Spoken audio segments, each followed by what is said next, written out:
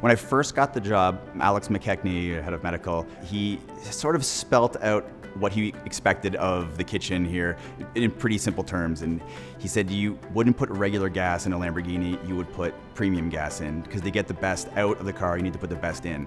What's the biggest difference between cooking for a normal person like me, a patron at a restaurant, and cooking for a professional athlete? Cooking for an athlete is different than a, uh, a restaurant patron in a lot of ways. Their needs, obviously, caloric wise, are much different. They burn more calories in a practice than we would in a normal day working out really hard. So they need a little bit more, but it's not about necessarily the quantity, it's really more the quality that really goes into it. Everything we do here at OVO, we source as responsibly as we can, where it's sustainable seafood, it's locally sourced, it's obviously seasonal, organic. We make everything in-house just so we also know what's going in everything. Talk to me about your court, the kitchen. What tools do you have at your disposal here?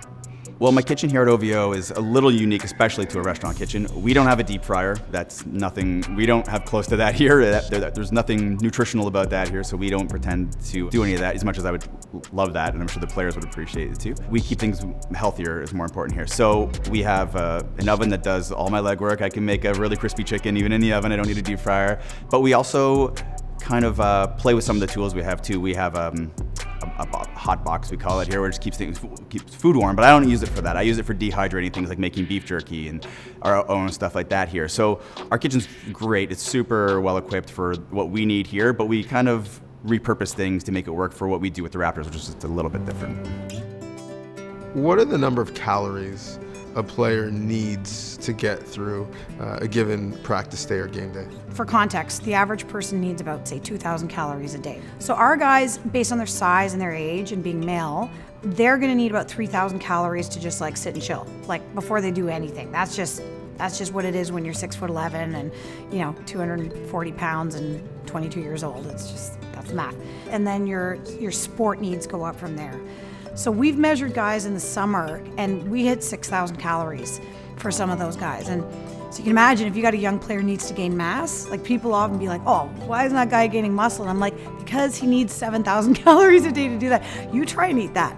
It, it's sort of fun till about somewhere in the mid threes, and then it becomes work, and you have to be really deliberate about making sure you're getting all those extra things you need in. These guys sweat out so much, we sometimes have to give them triple what the salt recommendations are to keep them from having problems like cramping. Give us a window into some of the eating quirks that some of the players have had that you've seen over your time here. Yeah, we've well, we definitely had some. I think the palates are really different here on the team, so everybody has their own thing they go to. But we've had some players who really enjoy certain things. Uh, we've had players we've brought sushi in, and just trays of sushi have gone home with them full trays.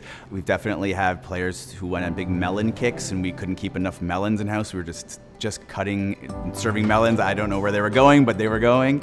Uh, it's not a lot of crazy stuff. Definitely people's breakfast orders are sometimes a little out there. You can see how hungry a guy is in the morning. We've had multiple eight egg omelet kind of orders. Uh, we definitely have players that every morning have a certain amount of pancakes that would be more than you and I would probably think is normal, but it, it happens. And that's on the coaching side too, actually. Ryan, you got a camera? You say hello to me now?